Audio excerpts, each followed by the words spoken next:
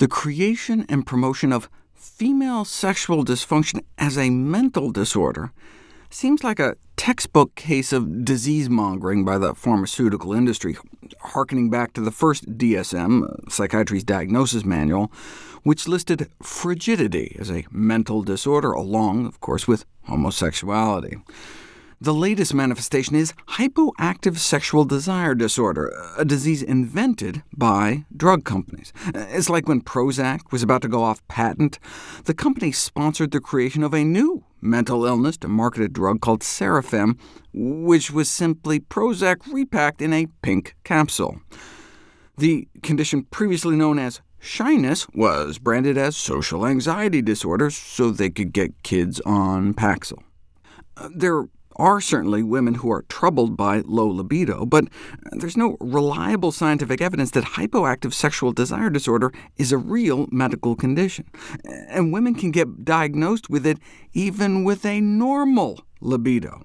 A woman highly interested in sex, just not for whatever reason with her current partner, can still qualify for the diagnosis and the drug. Even a woman who is perfectly satisfied with her sex life may still qualify if her partner isn't. Our story begins in 2009, when a drug company tried to get a failed antidepressant called uh, flibanserin uh, approved to treat hypoactive sexual desire disorder. Uh, the only problem? It didn't work. It was resubmitted again after more study and was still rejected, as was the appeal. But in 2015, the FDA approved the drug. What changed? Nothing about its efficacy. It didn't work any better. What changed is that the drug company that bought it helped launch an AstroTurf fake grassroots advocacy group, Even the Score, which lobbied for approval under a feminist rubric men have their drugs, why don't women get any sex drugs? Which was exposed as kind of a bitter irony. But hey, within 48 hours of FDA approval, the drug was sold for a cool billion in cash. Very satisfying for the drug company, but what about the women who take the drug, now sold as Addyi? Not much. The drug just doesn't work as advertised.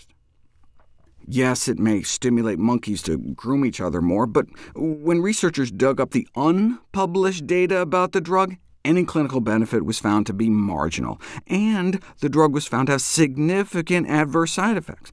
Besides being ineffective, it can be dangerous. Um, combining it with alcohol can cause dangerous hypotension and fainting, a problem so serious that the FDA put a black box warning on it, its most serious safety alert on the label, that of course no one reads. Even without alcohol, it can cause severe drops in blood pressure levels and cause sudden, prolonged unconsciousness. Now, uh, serious side effects might be acceptable in some kind of cancer wonder drug or something, but are entirely unacceptable in a drug given to healthy women for an invented condition. Are there any safe and natural solutions? Well, there's lots of studies on diet and men's sexual health, but what about women's? I've previously explored the evidence about women with high cholesterol levels, uh, reporting diminished sexual function across a number of dimensions. Uh, this could explain why a more plant-based diet, rich in a variety of whole plant foods, might be effective in ameliorating sexual function issues in women, as it does in men. Uh, more whole grains, beans, vegetables, and fruit, and less meat, dairy, and sugar associated with a reduced risk of erectile dysfunction.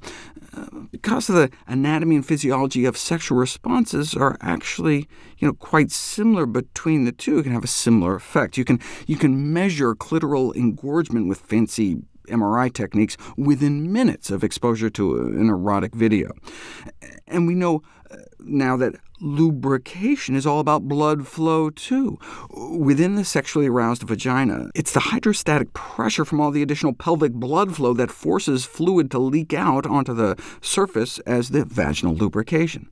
Uh, so how can we improve blood flow? Well, the flavonoid phytonutrients in cocoa can help open up arteries, increasing pulse wave amplitude from this at baseline to this after drinking cocoa for four days, uh, peaking at about 90 minutes after consumption.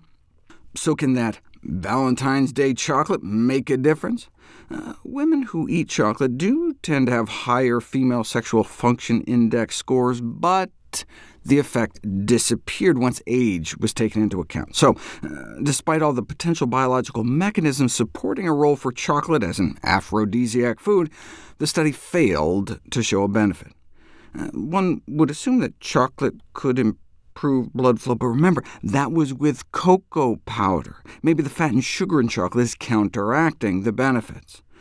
Uh, what are some whole food sources of flavonoids? Well, onions have a lot, and indeed, fresh onion juice enhances copulatory behavior in rats, but for those of us less interested in increasing the percentage of ejaculating rats and looking for something other than onion juice for our hot date, how about that apple?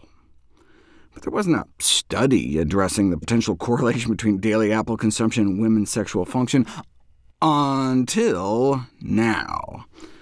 The title kind of gives it away, but eh, women were split into regular daily apple consumers versus those consuming less than an apple a day.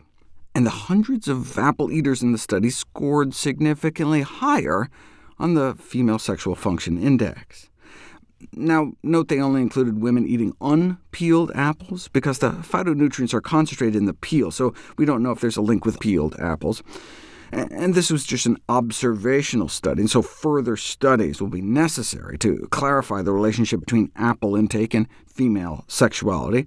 However, the present data can allow the development of future research for identifying new compounds and food supplements to use in female sexuality recovery. Uh, or you can just try eating an apple.